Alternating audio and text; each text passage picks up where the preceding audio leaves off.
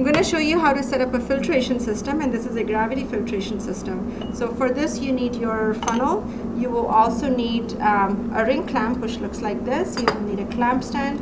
You need a clay triangle and of course you need the appropriate size of the filter paper. So if your funnel is about this size then you can't use a small filter paper. You will need a larger size. So take that filter paper and you have to prepare it which means that you'll have to fold it.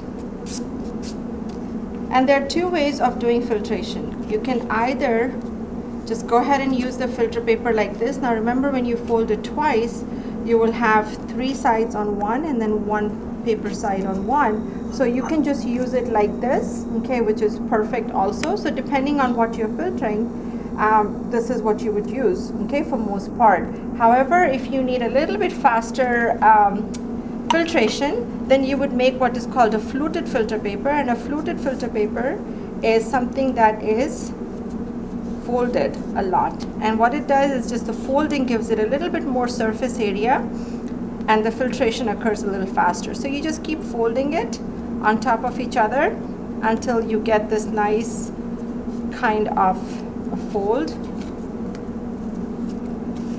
And this is what a fluted filter paper is okay? And so now let's go ahead and set this up on our stand.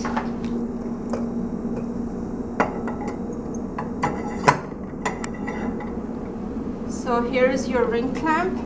Here is the clay triangle which you place over here and you can, uh, can place your funnel right here. Now typically uh, you can also place your funnel like this okay? Depending on the size of the ring you can place it like this. So for example in this case the clamp is uh, the ring clamp is large enough that I can use the funnel like this and the clay triangle is very small because it's not giving good balance so this is not a good technique. So for this one I will just go ahead and use the funnel like this and then I will go ahead and place my filter paper on here. But as you can see the filter paper is kind of jumping away okay from the uh, funnel.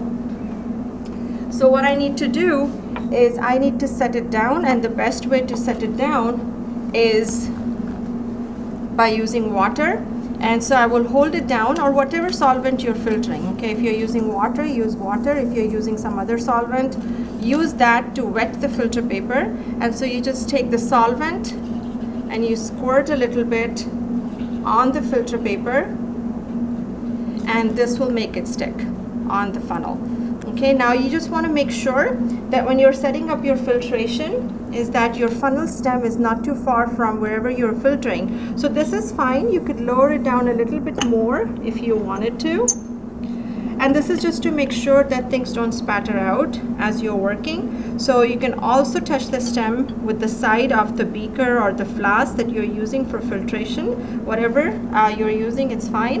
And then to do the filtration itself you will need of course your substance that you are filtering. So depending on what you're trying to filter if you have a very fine filtrate in there or filter uh, precipitate in there which means it's dispersed all around okay? Then there is a different way of filtering. And if you have something that settles at the bottom okay then there is another way of filtering. So in the first one if you have a very fine uh, precipitate in there then the best thing to do is swirl and then use a stirring rod as your guide and pour your solution or your mixture right in the funnel. And the stirring rod makes sure that you don't lose any filtrate because it's going right on the stirring rod on the spout right there. And so then you don't lose any drop from the side of the beaker. Okay this works really good if you have a fine precipitate.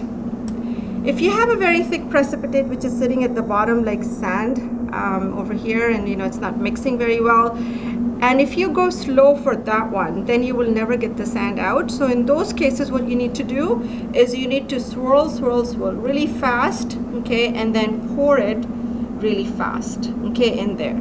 And then you will see that you get a lot of it out of the beaker. And then if there is anything remaining at the bottom of the beaker then you can use a squirt bottle to wash the rest of it out. So use the pressure of the water to get the rest of it out okay that's what you do and I know there's no sand in there right now that you can see, but it works. Okay, so that is your filtration system and see over here, this, the liquid is going right into the flask, it's not splattering out, so that's what you want in there. Okay, and be careful with the filter paper because it's wet. When you lift it, it might tear, so be careful.